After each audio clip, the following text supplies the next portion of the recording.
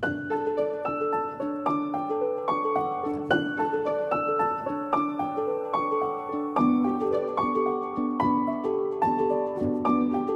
is, in fact, the final week of Progressive Christianity Bible Study.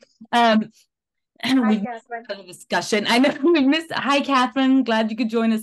Um, uh, I just pressed record, Catherine, for your very arrival. I did, in fact, miss the first half hour of this, but that's all right. Um, and we, our core value today, let me just put it up on the screen once more. We've had a little bit of discussion on this already. Um, but is uh, by calling ourselves progressive Christians, we mean that we are Christians who commit to a path of lifelong learning, believing that there is more value in questioning than in absolutes. And one of the things that we have discussed at this point is how Christianity has taken a diversion from our Jewish roots.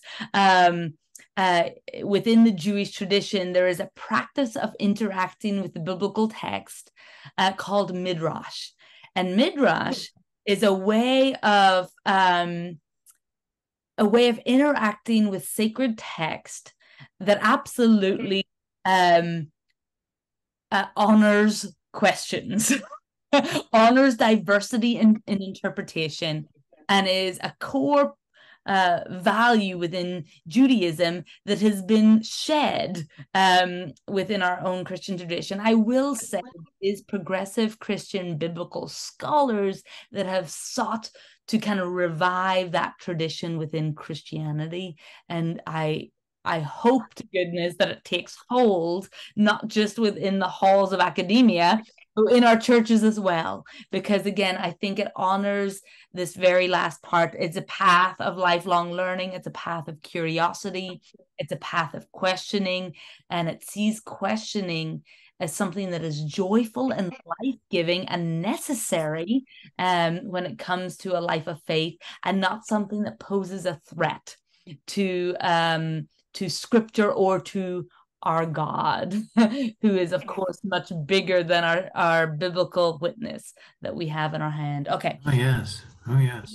So are y'all up to speed, Catherine? Yeah. Testimony to that, Emma. Yes. Did you not, oh, I'm talking to the whole group. Did you not feel a sense of joy um, yesterday in church when Tyler was able to take uh, a scripture that we probably have never read. Since some course in Joshua, uh, but and was able to pull out of that scripture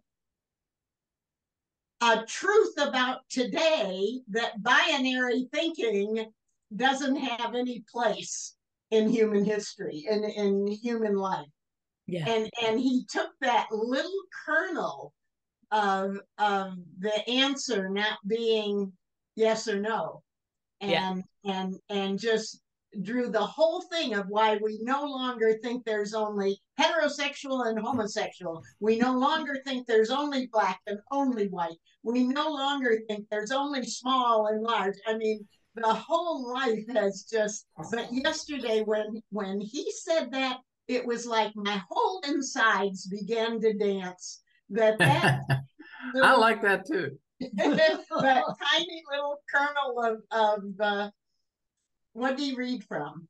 Judges. Judges. No, Joshua. Joshua. Joshua. Joshua 5. Joshua. Yeah. right Joshua on. Judges, right? It was in Joshua. It was the story Joshua of Joshua. five, one Uh, my gosh, we don't study those Old. Testament texts. And here's the truth.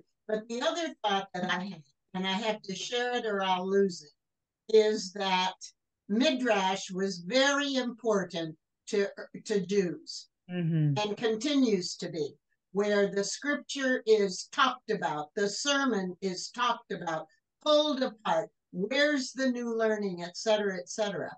Well, then when Western Europe thinking came into the mix, Mm.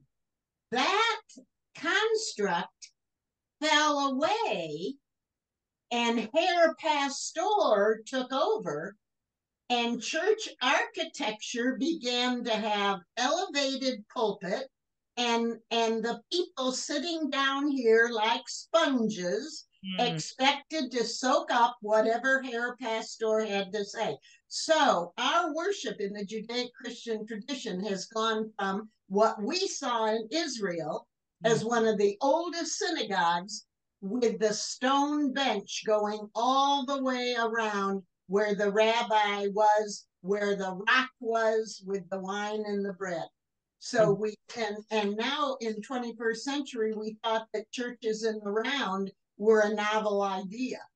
Well, guess what? They're 2,000 years old. Right, right. Yeah.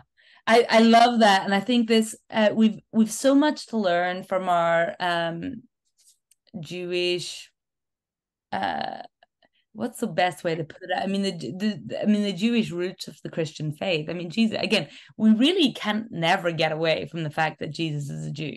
Right you really just can't get away from it. And there's tons of books by Mark, I think Marcus Borg mostly, um, or Spong.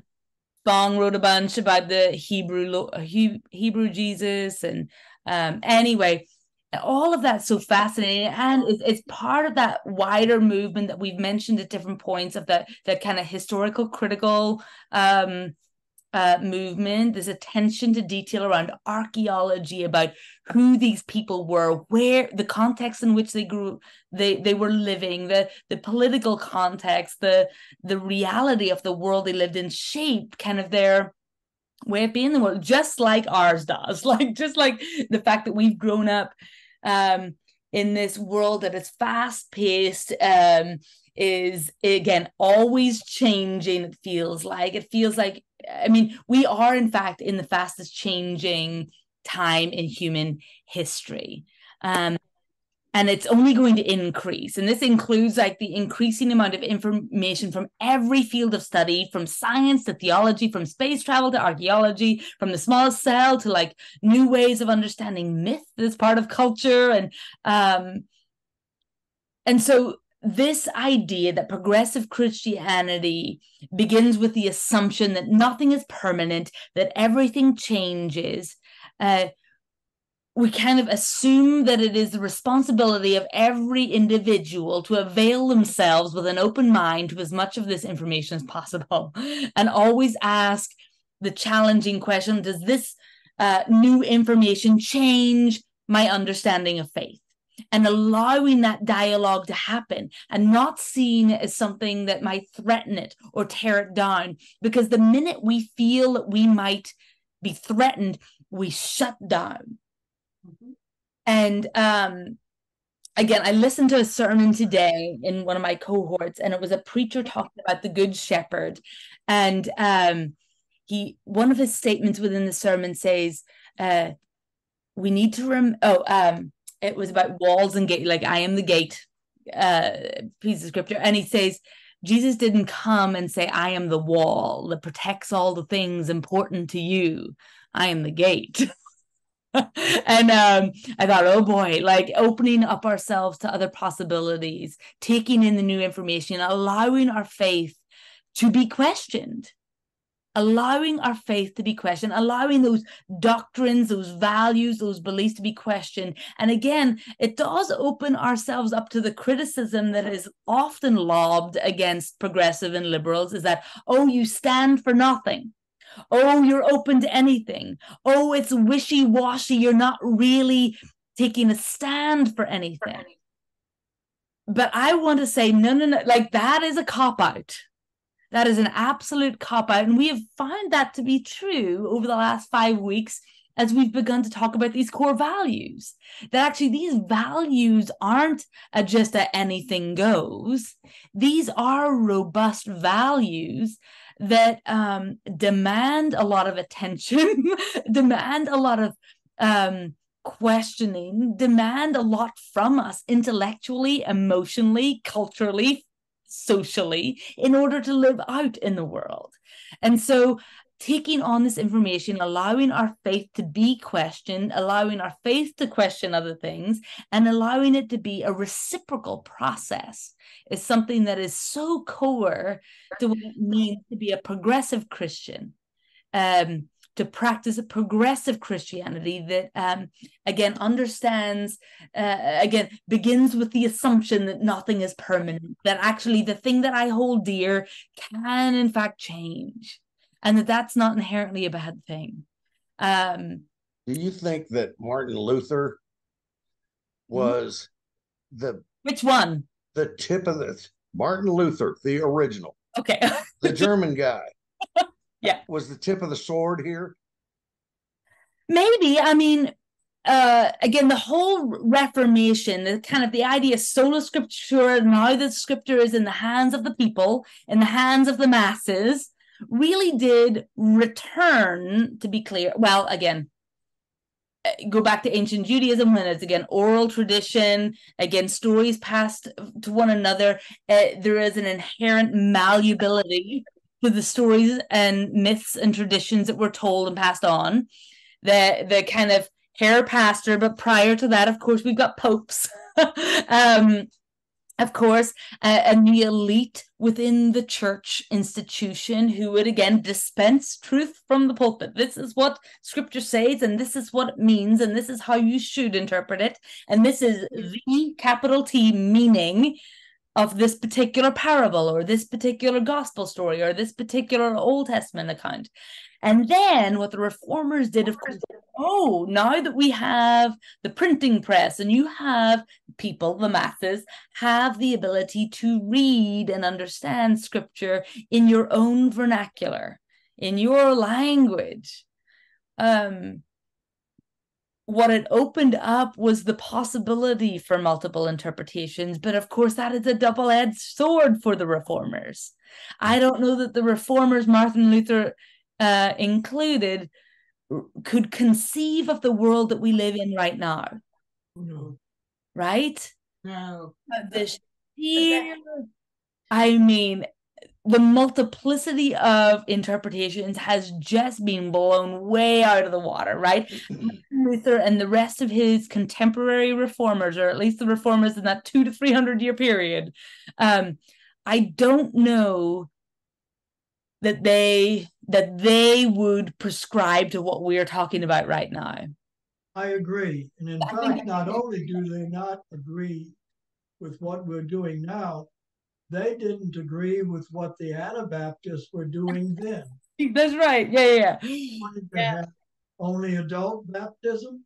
And people who were not thinking in line with the Catholics, but more like Luther, could find themselves killed. Mhm.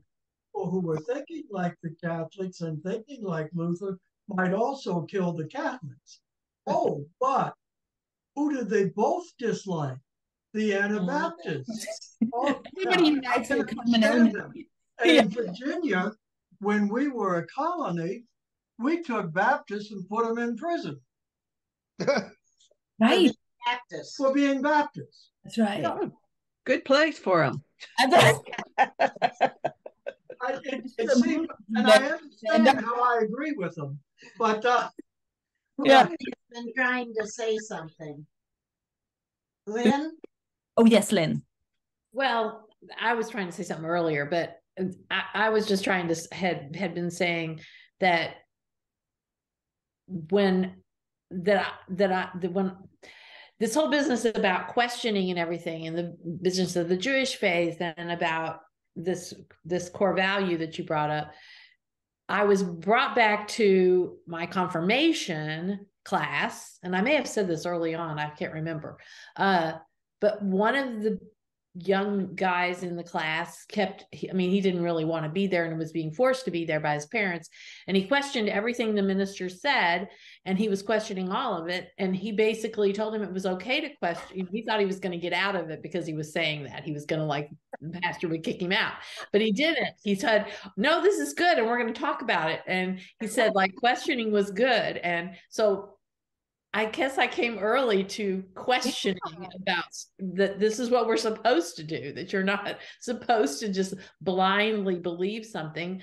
And I also think that this is not only where we come today in the Christian faith, um, like it's progressive Christians, but also across our country, particularly the the differences that we see. This whole business about absolutes that it carries over into to, to me anyway. Mine is that some of this business carries over into you know politics and everything else that everything has to be such an absolute everything has to be such black and white and that people are feel safe with that. And when there's too much gray they get afraid and then they don't know what to do and they don't want to have anything they also don't want it to change. They want everything to be the same and you know as the old saying goes the only thing that's constant is change you know?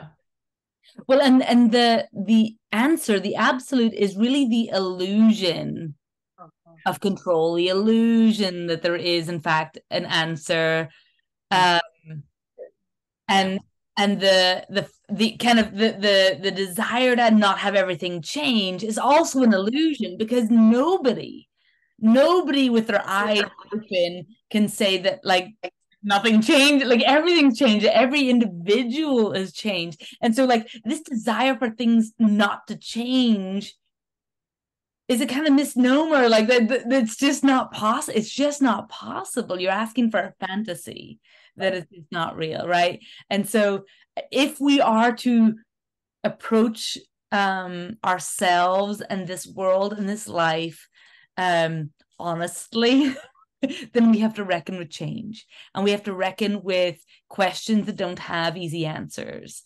And we have to we have to i think hold in suspicion in a kind of a in an academic sense suspicion. I don't want you to be going through suspicious of everything but like in in an academic sense to, to be suspicious of those who claim to have the answers right?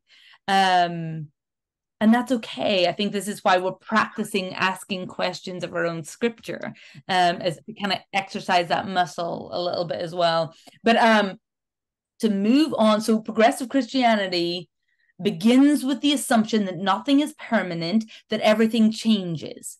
Um and progressive Christianity believes as well that such a stance uh, towards the world and our faith is a stance that follows the example of Jesus, to circle all the way back to core value number one. According to the Gospels, uh, Jesus rarely gave a straight answer to a straight question. Uh, instead, he responded with another question or told uh, like a puzzling story that that even the disciples were just like, "What did he mean?" and at risk of disappointing his questioners, Jesus put them in a position of having to think for themselves, um, rather than offer his disciples answers to life's most perplexing problems, Jesus introduced them to a deeper and deeper level of ambiguity. And this reminded me of like the sermon I told with the um, iceberg on the front of the um, bulletin, that actually what Jesus uh, requires of us so much in the way that he um, taught and the way that he behaved in the world was require us again to like dig deeper to that mass that we like to keep hidden under the surface of the water. Um because we're afraid of what might uh i don't know might show up and that we might have to question. Um and so Jesus's very example way of being in the world, the collection that we have of Jesus' teachings in the in the uh, Gospels, kind of taught us and taught his disciples, original disciples, to kind of question the most basic principles of their own faith, of the Jewish faith, of the law, of laws that concern murder and adultery and retribution and giving and prayer, Jesus would not provide absolute answers on any of those things. Um, he said, uh, yet in yeah. the fourth century, our dear Augustine began to state a number of absolutes, which we know, which we no longer would accept. Well, and it turns out the greatest thinkers in our own tradition have have still have this human desire for certainty, for absolutes, right? Even our greatest thinkers. And again, you are absolutely within your right to hang your hat on Augustine's uh, thinking and his theology. Be my guest. What we're saying in this Bible study, at least, is progressive Christianity says, um, uh, says, I don't know if that's helpful anymore. Are you finding that helpful? Are you finding absolutes helpful? Are you finding absolutes uh, life giving for you as you go through life? Um, are the answers that you've been provided by preachers, theologians, TV evangelists, the world at large, how are they working for you? Um, and progressive Christianity says, well, if you are someone for whom it's not working, then you can still call yourself a Christian and do so in the knowledge that you are following the example of Jesus and having more questions than answers. Um, and that to me gives me hope for Christianity in the future. Christianity will survive this day and age. When our institutions are failing, Christianity will go on. The God that our Christianity points to or seeks to point to will not be deterred by the failing of our 21st century religious institutions and the way that we've conceived of them, the way that we've invested our money in it. It will go on. Our buildings might be, um, our buildings might be empty and we might meet in different ways. And I feel like if, if we were to meet without the burden of our buildings or without salaries and utilities to think of. What way, if we were unencumbered by all those things, how would we seek to practice Christian community? It might look a whole lot different. And so we are both the beneficiaries of the past and and also burdened by the past and i don't mean just kind of our immediate past but i mean uh, our theologians like dear augustine um, or Martin Luther, these um, spearheaders of our faith, um, and that we have gained so much from them. But yet we have we have got a we have got a task for our own age. Um, and I think Laurie quoted another um, theologian on Sunday at the ordination, uh, Karoline Lewis, who said, tradition is only peer pressure from de- dead people. and I don't know that I conceive of tradition quite that bluntly, but some we allow tradition to be peer pressure from dead people. and if tradition is in fact that, then sometimes we need permission to be freed from that.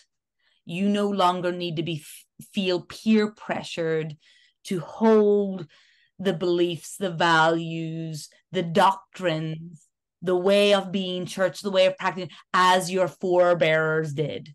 You don't. Um, Jesus, though a Jew and though dearly held on and was a Jew up until he died, through his death and resurrection, Jesus was never anything other than a Jew. Um, and so he held on to his religious and faith tradition deeply. But, but he some of the traditions. Huh? He questions some of every single one of them. And so do not feel peer pressured by de- dead people. Take take what is good, what is life-giving, what is wise and question the rest. What what risk are you running? I think sometimes we believe as christians oh my gosh i can't possibly do that right? Why? Would be my question. Anyway okay. Um let me keep it what time are we? 7:30 lord help us. We've been here an hour. Okay. I was going to say yes rick. that what i talked about yesterday in church seems to follow along exactly with this sixth yes Yes. What link are you seeing, Rick? Say that again. What link, what connection specifically do you see? Uh, well, my objective was to try to get people to think in a broader way than we're used to thinking about mental health. Mhm. Yeah. And that seems to follow along with the idea. I mean, that if you think of our past ways of thinking about mental health as an absolute, Mhm. then I was saying that's not necessarily the best, the only way to think about it. Mm. And I tried to present a new, a different way Yeah. to I think you're absolutely right.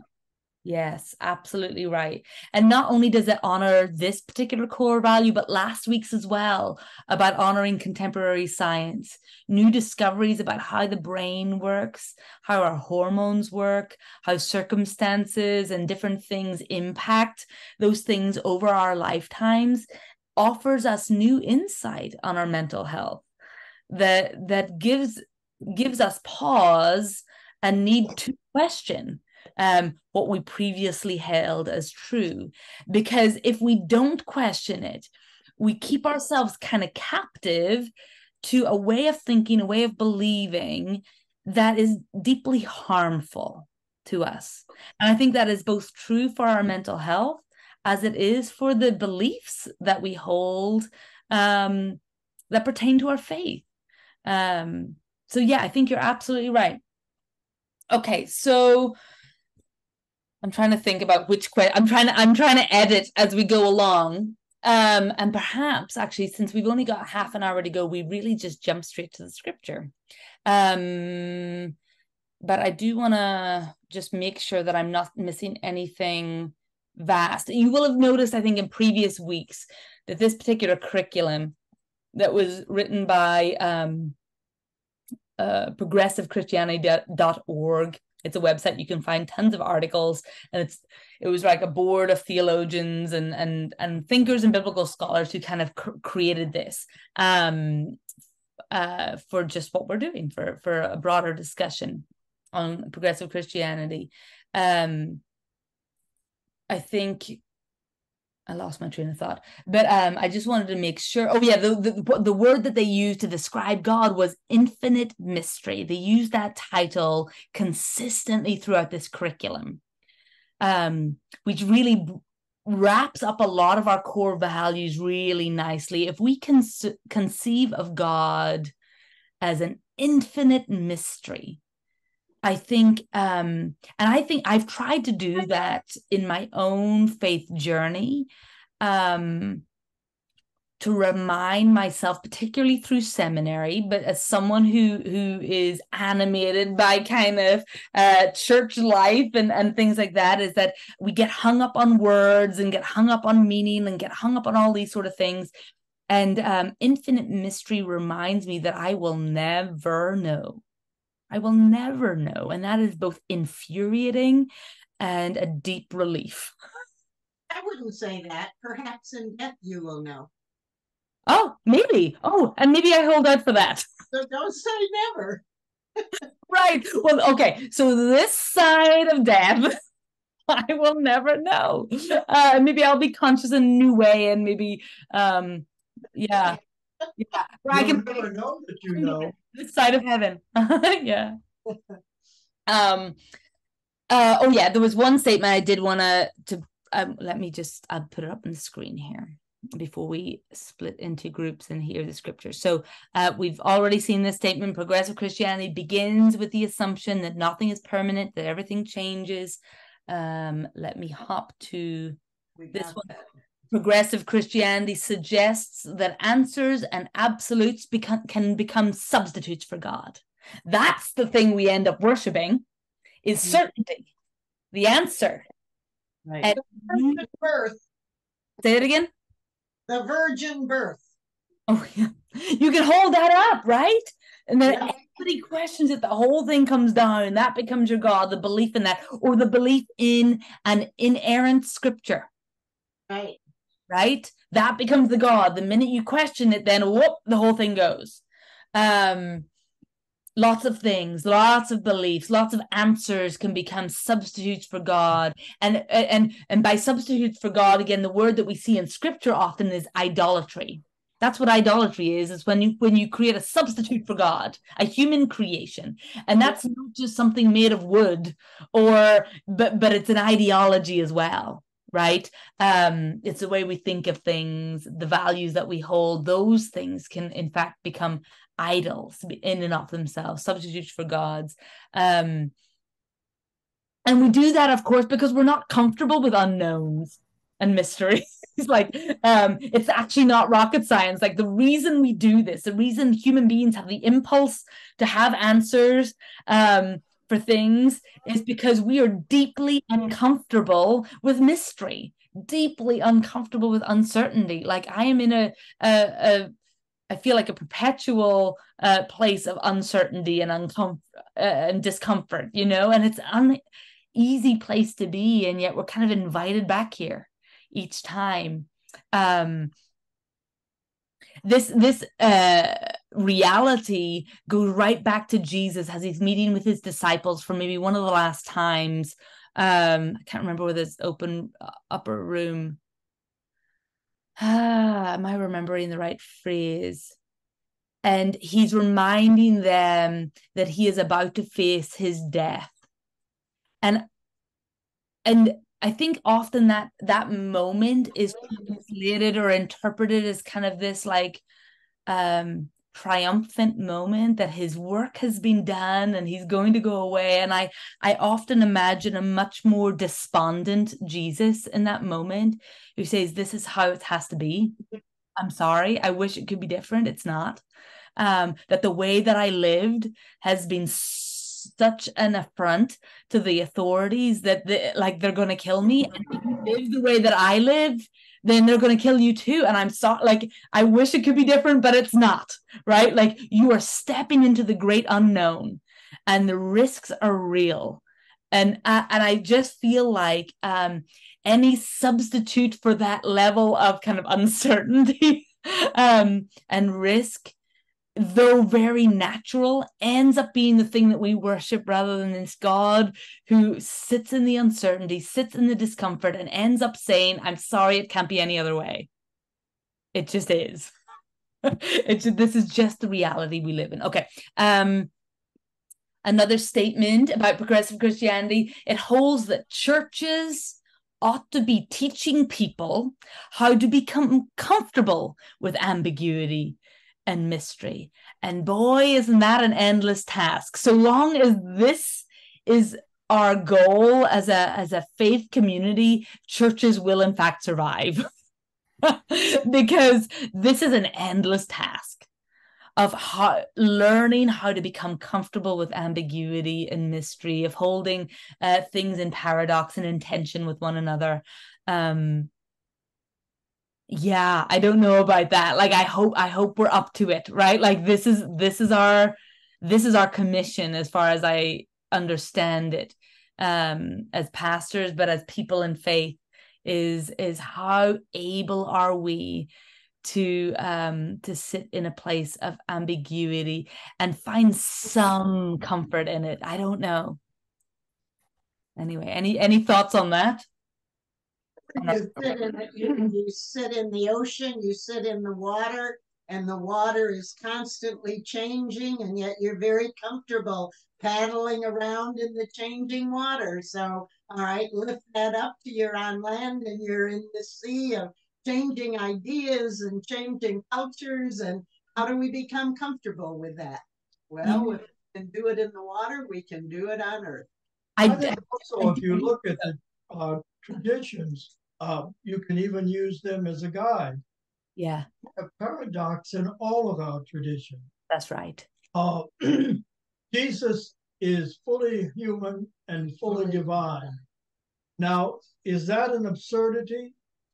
I mean, it's the way they did a paradox. That's the way they did an ambiguity. Mm-hmm. Jesus cannot be 200%. But yeah. there it is. It's a doctrine of the church. Uh, the Trinity is another doctrine of the church. Uh, no matter how you explain the Trinity, unless you have God in Jesus, Jesus in the Holy Spirit, the Holy Spirit in God, they and all of these, all three commingle Mhm. in some kind of weird paradox. Yeah. You don't have the truth about the Trinity. If you're just doing three leaves on a tree or something like that as Trinity, that's just a child's understanding. It's a paradox and it's not understandable. Yeah, thank you, um, Walter, for that too. And I think as well, so many other different faith traditions honor this much better and more consistently than we do in Western Christianity. Um, because sometimes we forget that, or we try to simplify the paradoxes in our own faith. But of course, the Buddhist tradition, oh my gosh, I think I think more than any other that I'm aware of, um, honors the paradox, the unknown, the mystery, um, as well. if we don't if we don't have the mystery if we don't if we had confirmations that we believed there would be no faith There you go. Right. That's exact. I mean, that's exactly right. Um, and we forget that. I think sometimes we redefine faith as something different right? than than what it really is, which is just what you're saying, Catherine. Absolutely. Um, do I have one more thing before we move on? Um, Can you put that statement up again? The the, the last one? The per, well i about the said? I said Oh. that that one. this oh one, that one yeah. Is this, is this what you're talking about, Lynn? Yes, yeah. I was just I just wanted to read it again. So Yeah, I mean, and what Catherine was saying is that faith actually assumes mystery, and mystery by, by definition is unknown. And whether we gather together as a community to kind of ponder the meaning of life and to ponder what we mean by the term God, what we are referring to is this infinite mystery. Which is what, progressive Christianity is saying, and kind of maybe progressive Christianity, rather than something new, is a reclaiming of something old which is probably the most likely like to be clear. Um uh we always find ourselves don't we? Um oh my my question and again i fear that we're kind of running out of time here but my question that was associated with this value is kind of catherine what you were about to say first of all it was how does the term infinite mystery make you feel and then the second one is how would you define the word faith and I think you did it beautifully, Catherine, by saying actually it really uh, assumes this a paradox. It assumes mystery. It assumes unknown, without which there is actually no faith. Faith is nothing. It's certainty. Oh. It's different. It's something entirely different.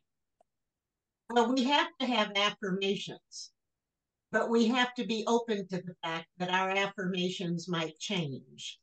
That's right. Yes. And it's Not a- absolute. I can remember when uh, the Lutheran Church tried to teach me that Christ died for my sins. Mm. And I didn't feel very sinful. I didn't think I was sinful. My dad tried to tell us we were, but I didn't believe it. Uh, and so when I got to the UC, so I said those, you know, those I, I believe in God the Father Almighty things for a long time, not really believing them. And then I got to the UCC, and when uh, when the second part of that comes, you know, about Jesus Hmm. saving us. How, oh, how does it say it? aimlessness and sin. From aimlessness and sin. Oh, it does use the word sin. But by that time, I understood to be sin not as actions, Mm. but as a separation from God. Yeah. Yeah. That is sin. Whatever we do, it might be eating too much. Sure. Yeah. and I separate myself from God every time I eat too much because I say, damn it, God, why did you let me do that? Oh. Oh, see, this is the, this is what I mean by saying, oh, there's like infinite discussion to have here, right? So we really could go, if you were so inclined, through each of the big Christianese words, right? We could talk about sin and what it might mean in all of its breadth and diversity from a progressive point of view. We could talk about salvation. Oh my gosh, we'd be here all year. And Right. You know, I mean, all these vast concepts um, that we uh, I mean, we you hear every Sunday. They're they're woven into our songs. They're woven into our prayers. They're woven in, and and we don't stop to kind of think, oh, are we understanding this how I grew up in understanding it? Am I just suspending? I'm just allowing. I'm just letting the word be, and I'm not questioning it because I don't believe what I used to believe, but I I don't really know how to articulate what I believe right now about that particular thing. So whether it's crucifixion or uh, or or kind of what crucifixion accomplished um or I mean, there's so many different things uh, that we say that we really don't explain or um, reinterpret with a progressive lens. Uh, we don't do that intentionally often, and we just assume y'all are doing it, and, and, and assume that the pastors mean the same thing as you mean, and we may not mean the same thing you mean, and we may not mean the same thing as each other means. um, so anyway, this is why we have midweek Bible studies. Okay, let's jump in to the scripture. We are going to go to Second Peter. Now, I know we just had a series on First Peter, at least the first three chapters of Peter. We're jumping to Second Peter. You guys are so well versed now in the context in which this letter was written to persecuted Gentile Christians um, lots of equating Christ's suffering with their suffering in order to find meaning um, and and kind of fortitude and perseverance uh, for kind of the uncertainty of uh, of the future. Would they be forever persecuted? Is this actually worth it? Um, those were kind of questions this community was asking, and Peter as I suggested in Mother's Day, took a mothering strategy and saying, yes, it is worth it, and this is why.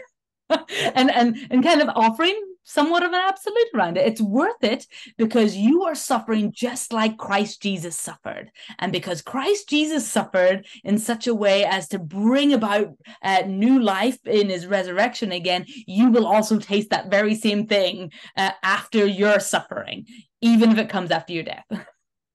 um, so of course we you know we kind of breeze over that bit oh you will in fact die also um so let's go to Second Peter, and that, uh, I want someone else to read this so that you don't hear my voice again.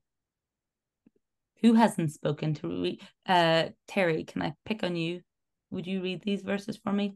Um, so what I've done is I try to uh, pare it down a little bit. 21 verses seemed an awful lot. Um, our final thing. So I've got two verses at the very beginning of chapter one, and then a few more at the very end. So here we go. Oh, can I move it? I'm not helping you, am I? There we go.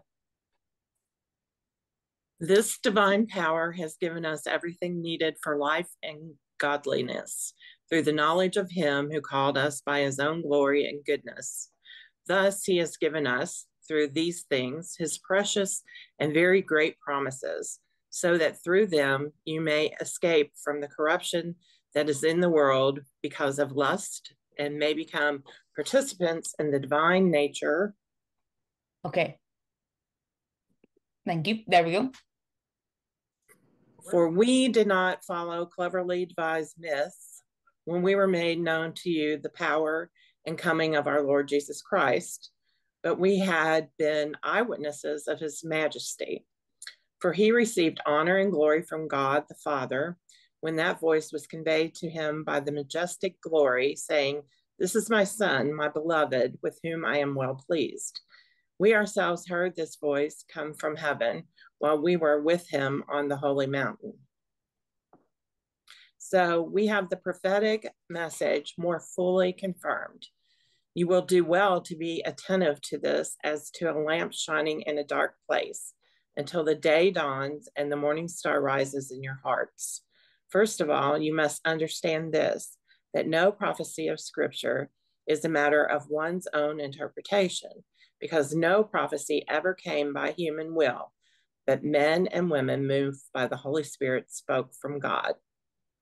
Here ends the lesson. So, thank you, Terry.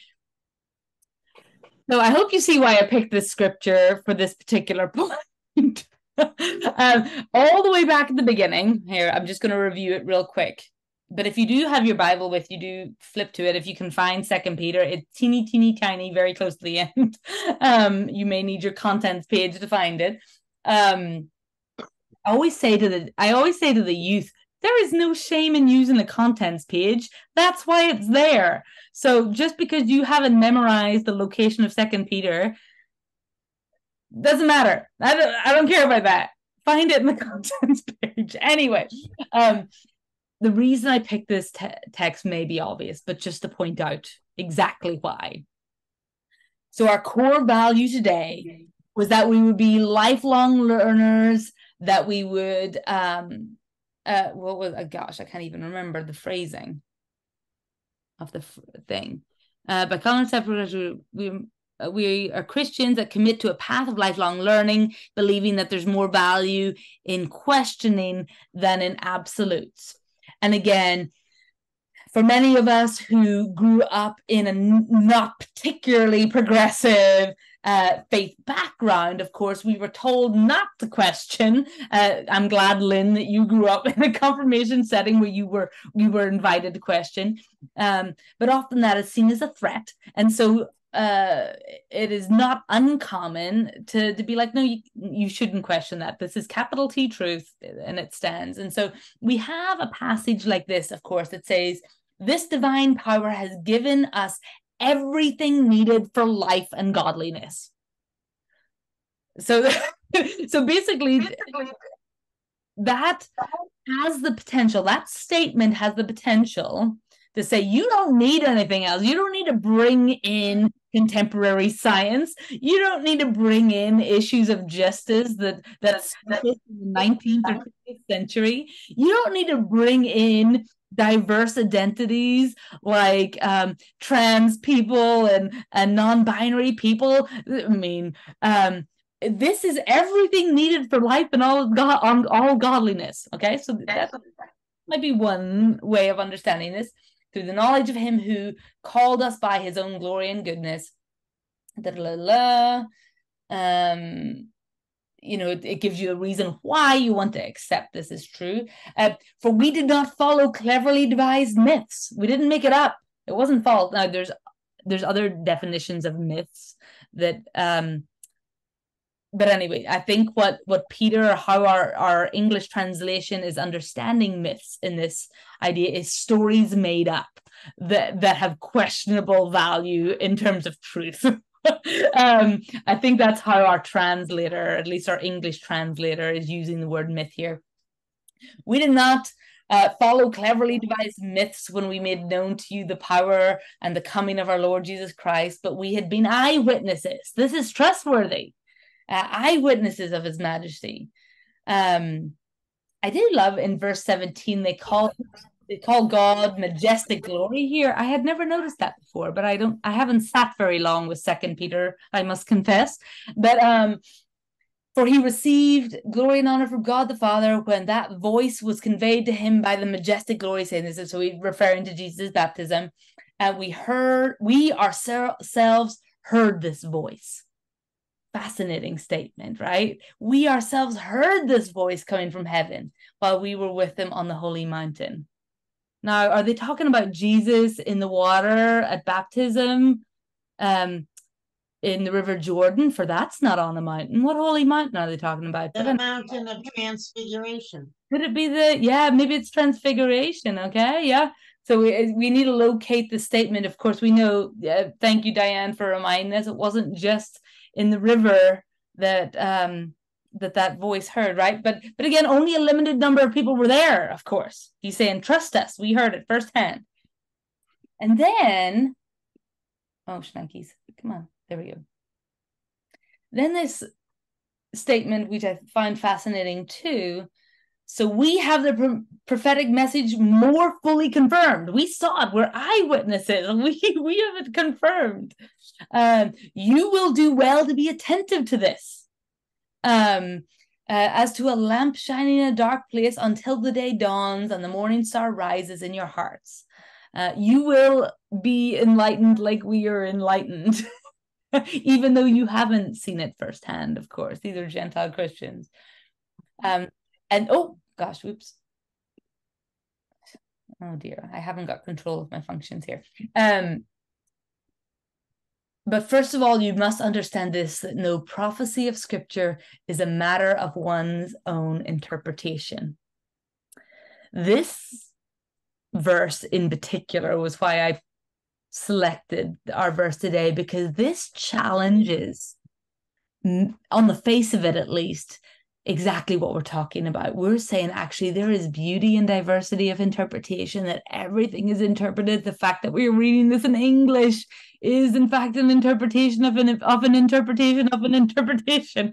Um, but uh, no prophecy of scripture is a matter of one's own interpretation because no prophecy ever came by human will. Now, that might, of course, indeed be true.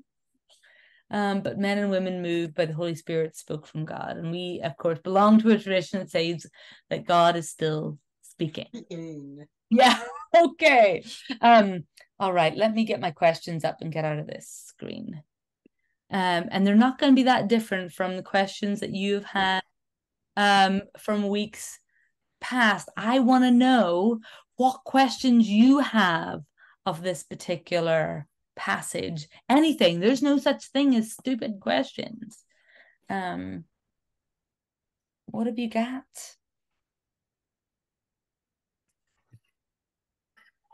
Any brave souls? Well, we know they were Gentile Christians, but what were they experiencing that Peter is speaking to them in this way? Yeah, that's a that's always a great question. Actually, what were they experiencing? It speaks to the context. Mm-hmm. Um, yeah, great question. And even though you think you know, so this is what I've discovered as well. Even though you think you know something of their context, it's always good to ask the question again. um, uh, to kind of go on that journey again and open yourself up to kind of learn new things about the context. Any other questions about this scripture?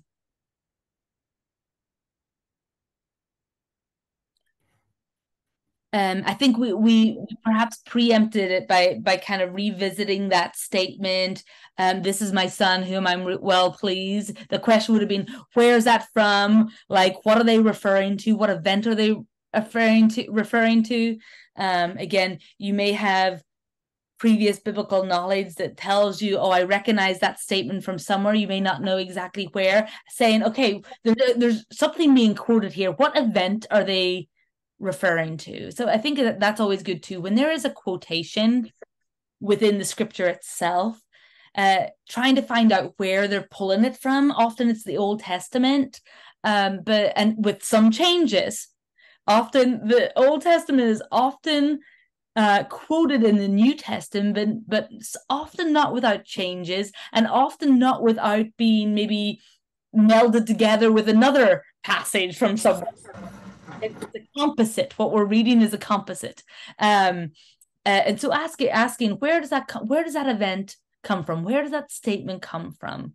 Is often helpful as well because our writers and our biblical inter- uh, biblical authors are often weaving together many traditions um yeah from hebrew bible or from the gospels or whatever um another question that, oh, for Diane. says that um, prophecy is god's gift and therefore we need to know God's intention uh-huh. before we can really believe in a prophecy that comes. Isn't yeah. that what he's saying? I mean, it's God's prophecy. God is the author of all prophecy. Mm-hmm. I don't remember what verse it was now. And mm-hmm. so we have to be aware of the intention.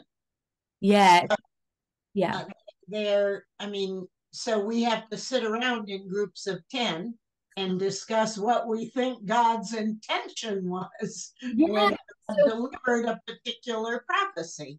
Yeah, and I mean, and even before we even get there, we could be like, okay, what is prophecy?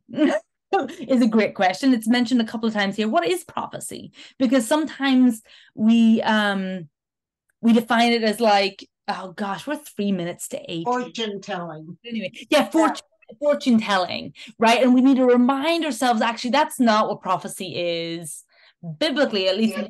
Testament, but of course, prophecy and our understanding of prophecy has changed from Old Testament times or can change. Again, we're lifelong learners, so change is constant. What might prophecy mean today? Am I imposing a contemporary meaning of prophecy? What does Peter mean of prophecy? So, like, it's always good. And again, what this kind of again, I'm trying to wind up without any answers. Um, but um, because we're almost but I know, know uh, it's very apt for this particular evening, of course, of, of, when we're just sitting in questions. But um, but I think it's always this kind of approach to scripture, one that is open to possibilities, one that is open to questions, one that doesn't get sucked down the one interpretation route or the one answer route, um, demands quite a lot of time and effort.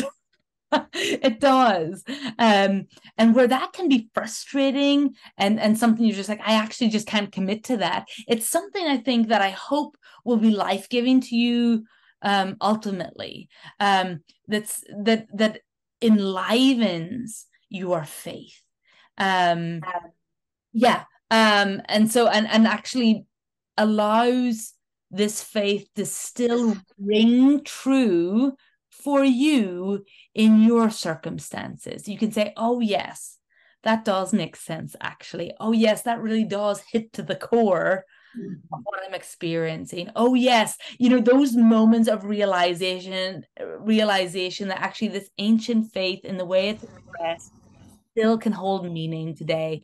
And we didn't get to like a hundred things that I wanted to discuss today. woe is me. Charmiel, please. Yes. What I, what I was thinking was like instead of us dropping off of a cliff right now, what what about once a month you continue this?